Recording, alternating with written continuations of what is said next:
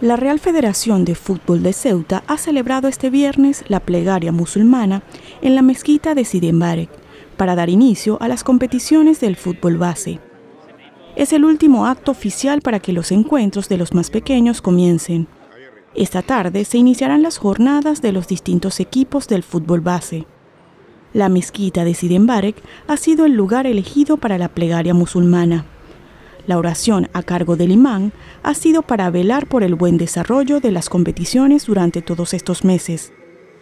Hasta estas instalaciones se ha desplazado Antonio García Gaona, el presidente de la Federación de Fútbol de Ceuta, así como varios miembros de la federación y algunos representantes del fútbol ceutí.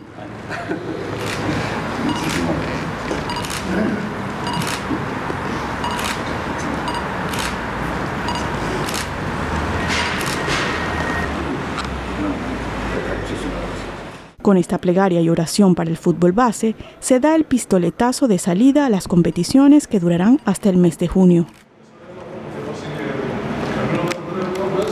Thank you.